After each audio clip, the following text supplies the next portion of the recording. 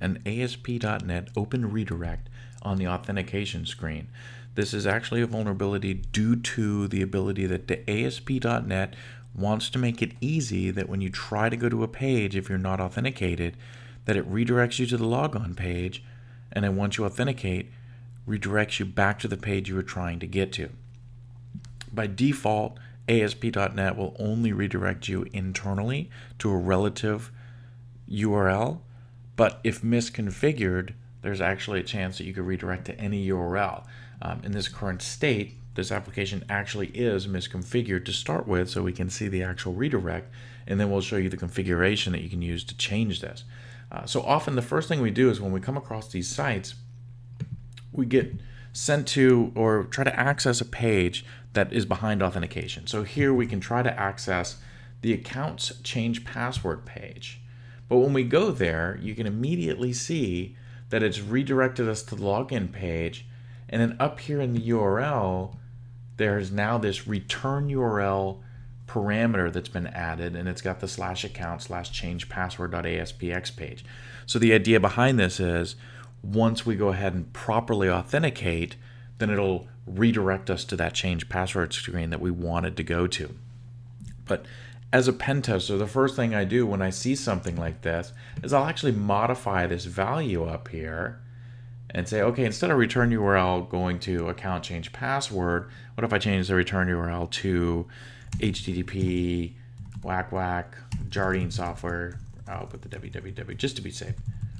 Jardine software.com. And we need to make sure that we reload the page here so that way this return URL actually gets dropped down into the form. So now, when I go down to authenticate, I can put in my credentials, and when I log in, we'll see that it goes ahead and authenticates me and then redirects me to that URL. But it redirected me to this malicious URL. So if we actually go back here, uh, and actually this isn't a malicious URL, this is my site, um, but it could be a malicious URL. If I go back, all I have to do is take this link, send this to a user of the site that I know of. I know somebody uses site XYZ, create this URL, send it in an email. They see that it's the account logon page and they don't really notice the return URL, or maybe I've encoded the return URL. Um, so they go to the site, it's the real site. They log in, and when they submit login and they successfully log in because that's the only time it'll redirect. If it's unsuccessful, it'll just bring us back to this login page. They successfully log in, it redirects them now to my site that I control, which could deliver malicious software, or better yet, maybe the site looks exactly like this login screen that we see, but pops up an error message that says invalid username or password and the user thinks, oh, I must have just mistyped my username or password. I'll type it again, not realizing that the URL has changed and they're no longer on their site that they expected to be on. They're on that malicious site. They re enter the credentials, they submit it up to the malicious site unknowingly. That site collects the credentials, redirects the user back over to the initial site that they were going to, and although maybe it sends them back to the default page, it doesn't really matter. The user's really not going to think much about it, but now the attacker actually has captured your credentials. Um, and now they can log in as you on the site. So very easy attack to pull off, but very easy to protect against as well. As I mentioned before, .NET actually protects against this by default, um, and you actually have to turn this off. Um, as I mentioned, by default, it's not enabled. Um, you have to make this feature enabled. So um, the key that we're looking for here is in the authentication in the web.config file, this enable cross app redirects equal true.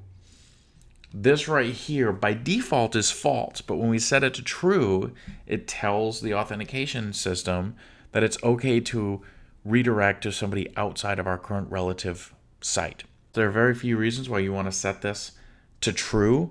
Um, you can try to do it for like a single sign on, but it's kind of a I haven't seen many people actually try to do that, uh, where I can log in on one ASP.NET app and it redirects me to a different domain, um, but still uses all the same machine key information, so we can kind of basically build our own single sign-on system.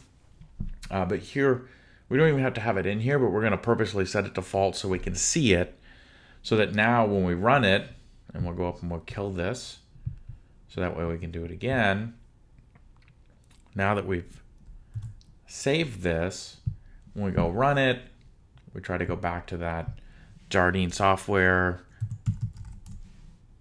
URL. Right now it's going to allow it to load here because this isn't where it's actually changing or, or sending us to that link. So this is okay. But when we log in, and we'll put our credentials in, we log in, and now we see that it's actually redirected us back to the default page because that URL isn't within our application. So .NET picks that up, says, nope, you're not a valid URL, so I'm just going to redirect you to the default page that's defined in our web config. Uh, and for us, that's actually the default.aspx page. Uh, so something that's very simple to fix, something very simple to search for.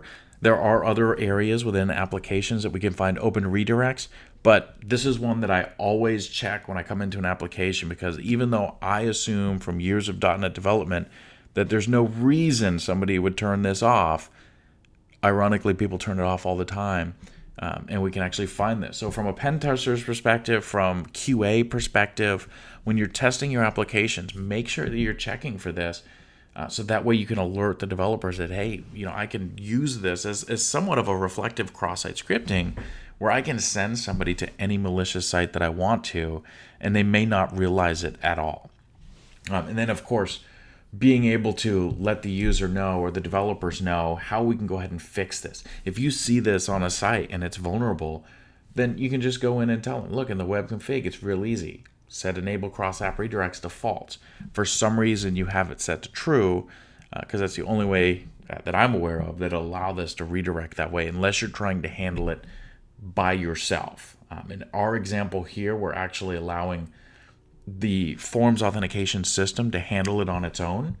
Uh, so we can see here all we're doing, and I don't even check the credentials for this demo purpose, uh, but we're just calling the forms authentication redirect from login page. And that takes that return URL automatically black box style and allows it to determine whether we can redirect to it or not.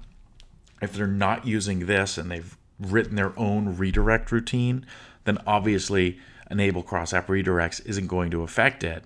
Uh, but a lot of developers use this built-in redirect from login page because it is very easy.